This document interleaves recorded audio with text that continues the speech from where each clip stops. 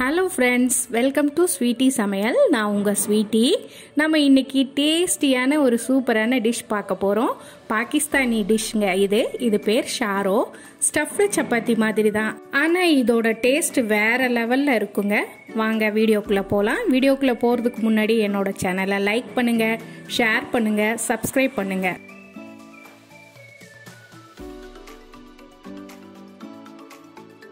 ஒரு பெரிய பவுல் எடுத்துக்கோங்க. அதில் ரெண்டு கப் கோதுமை மாவு சேர்த்துக்கலாம். தேவையான அளவு உப்பையும் சேர்த்துக்கலாம்.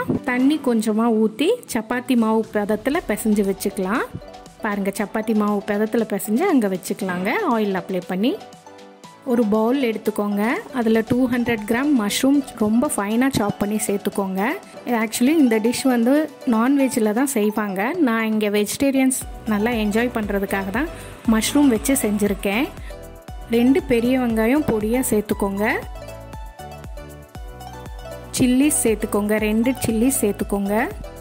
உப்பு தேவைக்கு தகுந்த மாதிரி சேர்த்துக்கோங்க. மிளகாத்தூள் ஒரு டேபிள் ஸ்பூன் சேர்த்துக்கோங்க. கரம் மசாலா ஒரு டேபிள் ஸ்பூன் சேர்த்துக்கோங்க.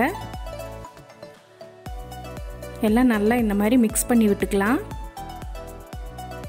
நல்லா கையிலையுமே நம்ம கலந்து விட்டுக்கலாம். பிசைஞ்சு வச்ச சப்பாத்தி மாவை நான் இந்த மாதிரி எடுத்து கட் பண்ணி வச்சுக்கிறேன். ஃபைவ் பார்ட்ஸாக பிரித்து வச்சுக்கிறேன். அதெல்லாம் நான் உருண்டை பிடிச்சி இந்த மாதிரி வச்சுருக்கிறேன் பாருங்கள் பெரிய பெரிய உருண்டைகளாக இருக்குது இனி நம்ம சப்பாத்தி போட்டுக்கலாம். சப்பாத்தி ரொம்ப தின்னாவும் இல்லாமல் திக்காகவும் இல்லாமல் கொஞ்சம் மீடியமாக தேய்ச்சிக்கலாம். நல்லா பெருசாகவே தேய்ச்சிக்கலாம். கனம் மீடியமாக இருக்கட்டும். ஸ்டஃபிங்ஸ் எல்லாம் வெளியில் வராமல் இருக்கணும். இப்போ நம்ம ஸ்டஃபிங்ஸை உள்ளே ஸ்டஃப் பண்ணிக்கலாம். நீங்கள் இது ஸ்டஃப் பண்ணி செய்கிறதுனால உங்களுக்கு கிரேவி செய்ய வேணுங்கிற அவசியம் இல்லை. இந்த ஃபில்லிங்ஸ் வச்சு நம்ம சாப்பிட்டுக்கலாம். இன்னொரு சப்பாத்தியை வச்சு நம்ம கவர் பண்ணிக்கலாம். அந்த ஓரங்களையெல்லாம் நீங்கள் நல்லா அழுத்தி ப்ரெஸ் பண்ணி சீல் பண்ணிக்கோங்க. ஒரு கார்னர்லேருந்து இந்த மாதிரி நீங்கள் அழகாக மடித்து விட்டுக்கோங்க. ஃபுல்லாக நீங்கள் கவர் பண்ணி மடித்து விட்டுருங்க. அப்போ தான் நம்ம ஸ்டஃபிங்ஸ் வெளியில் வராது.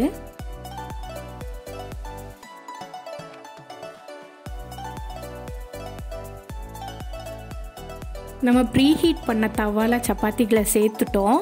சுற்றியும் கொஞ்சம் நல்லா ஆயில் விட்டுறலாம். Five minutes to six minutes வேகட்டும். லிட் போட்டு க்ளோஸ் பண்ணுறோம் ஃபயரை ரொம்ப சிம்மில் வைங்க. இப்போ திருப்பி போட்டுட்டோம். ஆயில் அதே மாதிரி கொஞ்சம் சேர்த்துக்கலாம். லிட் போட்டு க்ளோஸ் பண்ணி விடலாம். மறுபக்கமும் நல்லா வேகட்டும். ஃபயர் ரொம்ப சிம்மில் இருக்கட்டும்.